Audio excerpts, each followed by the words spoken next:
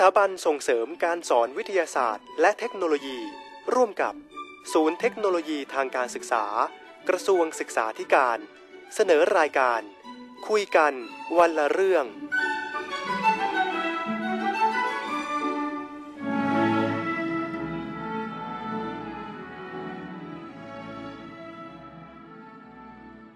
สวัสดีค่ะท่านผู้ฟังค่ะ พบกับรายการคุยกันมาเรื่องอีกเช่นเคยนะคะ วันนี้เดนอรสาสัตาลรุจิเป็นผู้ดำเนินรายการนะคะ ในวันนี้เราก็จะคุยกันในเรื่องของอาหารการกินนะคะ ซึ่งอาหารเนี่ยมีทั้งเป็นอาหารที่เกี่ยวข้องกับสุขภาพร่างกายของคนเรานะคะ ไม่ว่าจะเป็นผู้หญิงผู้ชายเด็กเล็กอะไรเงี้ยนะคะ คือทุกคนต้องรับประทานอาหารนะคะ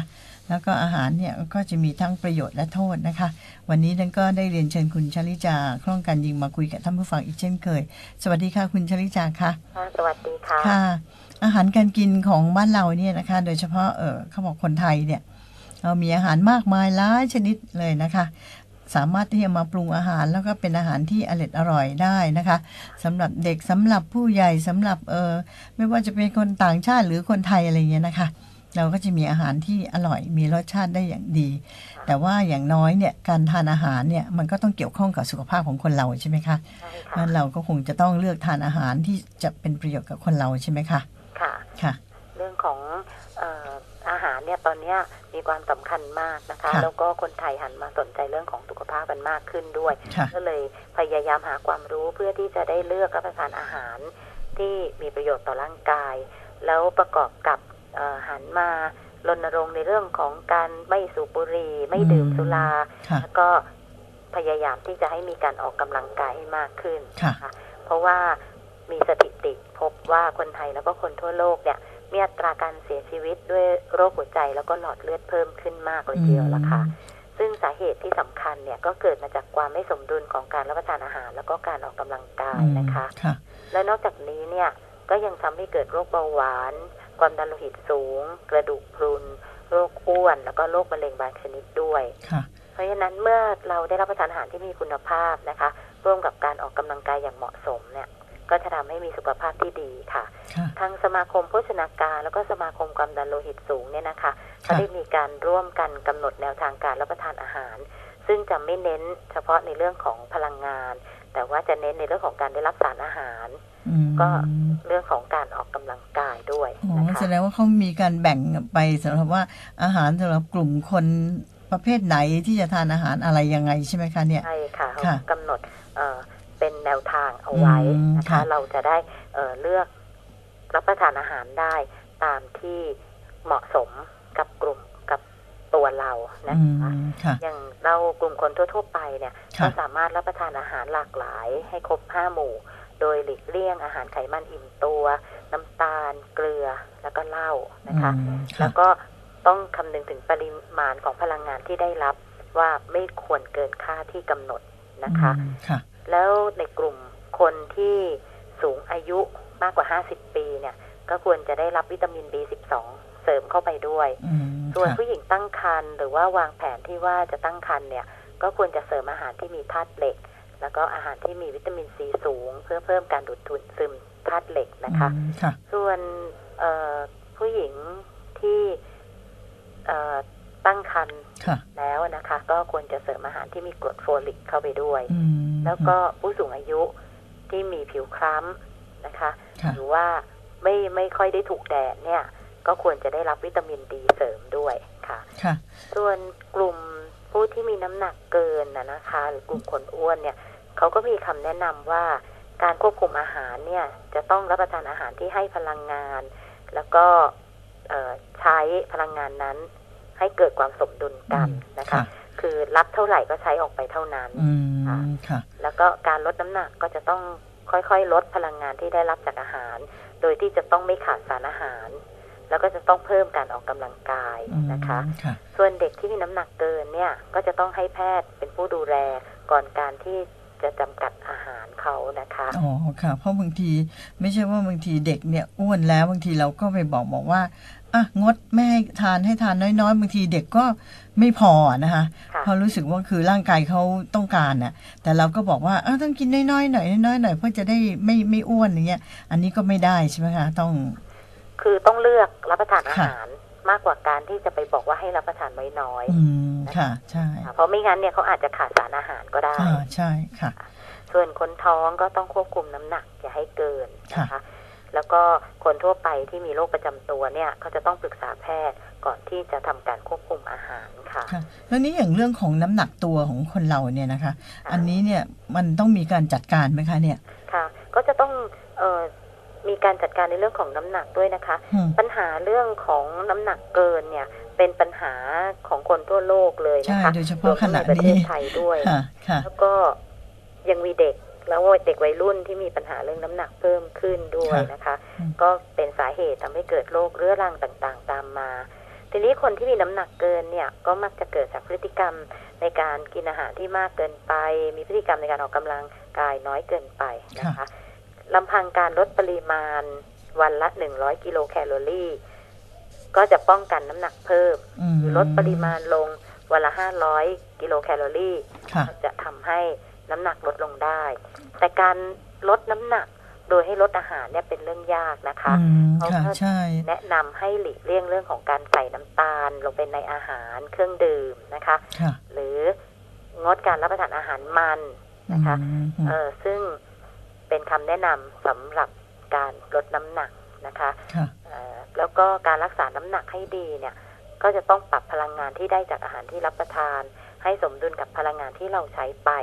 อืนะคะมค่ะคือรักษาน้ำหนักให้คงที่อยู่เท่าเดิมนะคะค่ะส่วนการที่จะป้องกันน้ำหนักเกิน ก็จะต้องลดปริมาณอาหาร ลดน้ำตาล แล้วก็เพิ่มการออกกำลังกายค่ะค่ะ ในส่วนตรงนี้เนี่ยบางทีเนี่ยก็เป็นการที่ ยากลำบากนะคะ เพราะสังเกตดูเนี่ยปัจจุบันนี้เนี่ยคือเราเนี่ยต้องออกไปทำงานนอกบ้านนะคะ ตั้งแต่เช้าจดเย็นเลยอะไรเงี้ยบางครั้งก็นั่งอยู่กับที่โต๊ะทำงานนะคะ อาหารจริง ๆ บางครั้งเนี่ยก็พอทานเสร็จปั๊บก็ต้องทำงานเลยอะไรเงี้ยแล้วก็พอกลับบ้านก็ไม่มีเวลาออกกำลังกาย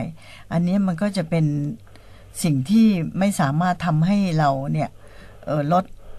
ความอ้วนหรือไม่สามารถทำอะไรได้ แล้วก็ร่างกายเนี่ยก็ไม่ได้รับการออกกำลังกายเลยเนี่ย อันนี้ก็เป็นปัญหานะคะ ค่ะใช่ค่ะ บางคนเนี่ยเออไม่มีไม่ไม่ได้ออกกำลังกายเลยอะนะคะค่ะก็เลยคิดที่จะลดน้ำหนัก ด้วยการงดรับประทานอาหารอ่าซึ่งมันก็จะไม่เกิดไม่ถูกใช่ไหมคะต่อร่างกายอืมค่ะเพราะฉะนั้นร่างกายเนี่ยก็อาจจะอ่อนแอลงนะคะค่ะเอ่อหรือว่าขาดสารอาหารก็จะทำให้มีโรคภัยไข้เจ็บตามมาได้อีกเหมือนกันเพ ราะฉะนั้นวิธีที่ดีที่สุดเขาถึงบอกว่าให้ใช้วิธีลดปริมาณอาหาร ลดน้ำตาลแล้วก็เพิ่มการออกกำลังกายค่ะอืมถึงจะอันนี้จะเป็นผลดีแล้วก็เป็นประโยชน์นะคะ โดยเฉพาะอย่างเด็กๆเนี่ยค่ะ อาจจะเป็นเพราะว่าปัจจุบันนี้เนี่ยมีการดูโทรทัศน์นะคะแล้วก็มีการเอ่อเล่นคอมพิวเตอร์ ไม่ว่าจะดูเล่นเกมหรืออะไรต่างๆ เนี่ยมันเด็กก็จะใช้เวลาส่วนใหญ่เนี่ยนั่งอยู่กับที่นะคะค่ะแล้วก็คือทานก็ทานตรงนั้นนะคะ ทานเสร็จก็ดูต่ออะไรเงี้ยจนบางทีอาจจะทั้งวันเลย ดูโทรทัศน์กว่าจะนอนก็ดึกดื่นอะไรเงี้ยนะคะ อาหารก็ได้รับประทานที่มันอาจจะไม่ถูกไม่มากคือไม่ถูกกับเอออาหารห้าหมู่อะไรเงี้ยนะคะ แล้วก็ไม่ได้ออกกำลังกาย อันนี้ก็เป็นปัญหาใช่ไหมคะใช่ค่ะอืมเอ่อเรื่องของการออกกำลังกายสำหรับเด็กเนี่ยก็สำคัญค่ะค่ะเอ่อไม่งั้นเนี่ยเด็กก็จะมีน้ำหนักเกินตั้งแต่อายุอย่างน้อยๆนะคะค่ะแล้วก็ เป็นปัญหาต่อเนื่องไปจนโต แล้วการที่เด็ก ๆ น้ำหนักเกินเนี่ยก็อาจจะทำให้มีโรคภัยไข้เจ็บ ซึ่งร่างกายของเด็กเนี่ยก็จะไม่แข็งแรงเท่าผู้ใหญ่อืมก็จะทำให้เอ่อเกิดโรคเรื้อรังหรือว่าอาจจะเป็นมากก็ได้ ตั้งแต่เด็กๆนะคะ นี่ก็แย่นี่อย่างเรื่องของการรับประทานอาหารให้ปลอดภัยเนี่ยค่ะควรจะต้องก็มีวิธีการคมนะคะทางสมาคม โภชนาการเขาก็มีข้อแนะนำเกี่ยวกับเรื่องของการรับประทานอาหารอย่างปลอดภัยค่ะก็คือเออต้องล้างมือนะคะก่อนรับประทานอาหารนะคะ แล้วก็ผลไม้เนี่ยก็จะต้องล้างให้สะอาดทุกครั้ง แล้วเวลาไปซื้ออาหารนะคะค่ะก็ให้แยกอาหารที่พร้อมรับประทานออกมาจากอาหารสุกเอ่อจากอาหารสดนะคะอืมแล้วค่ะก็อาหารถ้าเราปรุงอาหารเองเนี่ยก็จะต้องปรุงอาหารให้สุก ส่วนอาหารที่แช่เย็นหรือว่าแช่แข็งค่ะต้องทำละลายก่อนไปปรุงอาหาร ก็ให้หลีกเลี่ยงอาหารสุกๆดิบๆนะคะอืมหรือนมที่ไม่ได้มีการฆ่าเชื้อโรค หรือว่าไข่ดิบนะคะ ก็ให้ค่ะหลีกเลี่ยง ซึ่งแนวทางของการรับประทานอาหาร ร่วมกับการออกกำลังกายอย่างเหมาะสมเนี่ยกก็จะช่วยลดการเกิดโรคต่างๆ ไปได้มากทีเดียวค่ะ ค่ะ นี่อย่างการทานอาหารเนี่ยนะคะ ถ้าเหมือนเราจะทานอาหารเรียกว่าให้มันเป็นประโยชน์กับสุขภาพเนี่ยค่ะ มันจะต้องเออเลือกไหมคะ ค่ะ ก็เขาก็มีการกำหนดเกณฑ์อาหารสุขภาพนะคะค่ะซึ่งทางอเมริกาเนี่ยเขาได้มีการประกาศการทำเกณฑ์อาหารสุขภาพออกมาใหม่อืมโดยค่ะจะอาศัยเอ่อข้อมูลทางวิชาการ ซึ่งมีหลักฐานสนับสนุนนะคะค่ะแล้วเกณฑ์ใหม่เนี้ยเขาก็จะมีรายละเอียดถึงเรื่องของปริมาณสารอาหารรวมทั้งเกลือแร่ด้วยอืมซึ่งค่ะก็มีการศึกษาพบว่า ลำพังการรับประทานอาหารให้ถูกต้องอย่างเดียวเนี่ย ก็จะช่วยลดอัตราการเสียชีวิตลงได้ร้อยละสิบหกอืมค่ะ แล้วก็ร้อยละเก้าสำหรับชายและหญิงที่มีอายุมากกว่า45ปีค่ะอืมค่ะนี้หลักเกณฑ์การการรับประทานอาหารสุขภาพที่ค่ะเขาเปลี่ยนแปลงใหม่เนี่ยอืมนะคะค่ะเขาก็บอกว่าเอ่อปริมาณผลไม้เนี่ยจะต้องมีการรับประทานในปริมาณ ที่เพิ่มขึ้นอีกร้อยละร้อยถึงร้อยห้าสิบอืมนะคือเป็นเท่าตัวเลยนะคะค่ะแล้วก็ต้องมีการเพิ่มปริมาณผักอีกร้อยละห้าสิบอืมนะคะค่ะต้องดื่มนมเพิ่มอีกร้อยละห้าสิบถึงหนึ่งร้อยอืมเนื้อสัตว์จะต้องลดลงร้อยละสิบนะคะค่ะลดอาหารไขมันลงร้อยละสิบเพิ่มผักใบเขียวประมาณครึ่งถ้วยตวงอืเพิ่มส้มค่ะประมาณ 0.2 ถ้วยตวงค่ะเพิ่มอาหารจำพวกถั่ว 0.3 ถ้วยตวง แล้วก็เพิ่มธัญพืช 2.2 ออนซ์นะคะอืมลดไขมัน 18-27 กรัม ลดน้ำตาล 14-18 ช้อนชาค่ะ ค่ะ อย่างเกณฑ์ต่างๆ เนี่ยนะคะ ที่ทางสมมติว่าทางต่างประเทศเขากำหนดเนี่ยนะคะ คือจริงๆ แล้วเนี่ย ถ้าเผื่อเรานำมาใช้ในบ้านเราเนี่ยนะคะมันก็จะเป็นประโยชน์นะคะ แต่ว่าจริง ๆ แล้วจะว่าไปเนี่ยในบ้านเราเกือบจะทุกครัวเรือนมั้งคะบางทีเนี่ย เราก็ ทานอาหารเนี่ยโดยที่บางทีก็อาจจะไม่ได้ตรงตามเกณฑ์อะบางทีก็มีไม่ครบอะไรเงี้ยใช่ไหมคะใช่ค่ะค่ะซึ่งเอ่อโดยเฉพาะอย่างยิ่งผู้เอ่อพวกกลุ่มคนนะคะค่ะที่อยู่ในพื้นที่ห่างไกลนะคะค่ะหรือว่ามีฐานะทางเศรษฐกิจไม่ดีเนี่ย ก็มักจะมีคำพูดบอกว่า หารับประทานให้ครบสามมื้อ ก็อืมยากแล้วใช่มารับประทานให้ครบห้าหมู่อีกเนี่ย ก็ยิ่งยากเข้าไปใหญ่ค่ะนะคะ แต่จริงๆแล้วเนี่ยก็ได้กระทรวงสาธารณสุขก็มีการออกมารณรงค์ให้ความรู้เหมือนกันนะคะ ว่าค่ะอาหารหลักห้าหมู่เนี่ยเออก็ไม่ไม่ใช่อาหารที่มีราคาแพงอืมเป็นอาหารพื้นบ้านที่หาได้ทั่วๆไปค่ะเพียงแต่ว่าเราต้องรู้จักที่จะมีความรู้ในการเลือกรับประทานอาหารเหล่านี้มากกว่า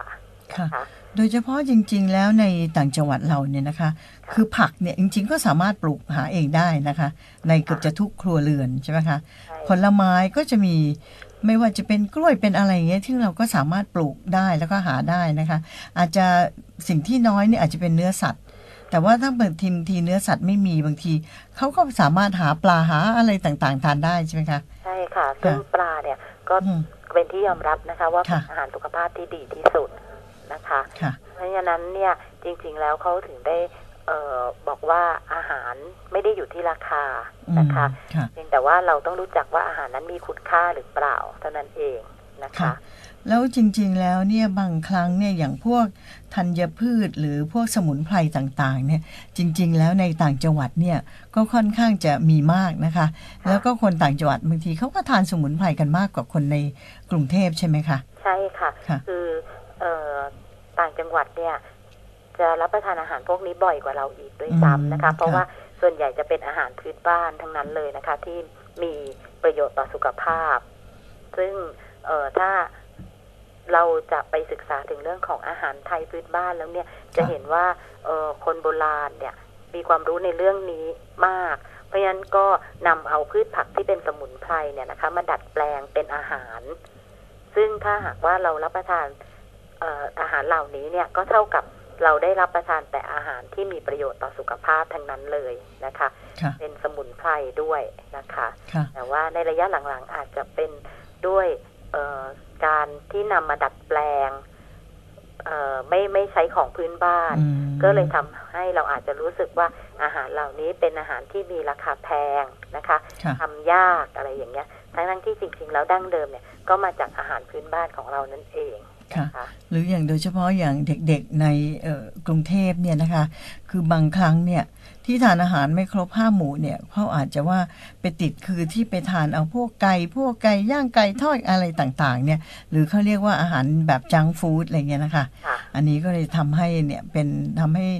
เกิดโรคอ้วนโรคอะไรขึ้นในเด็กอยู่เสมอนะคะค่ะค่ะ แล้วก็บางทีก็เลยไปถึงเรื่องของฮอร์โมนในสัตว์อืม ที่เขา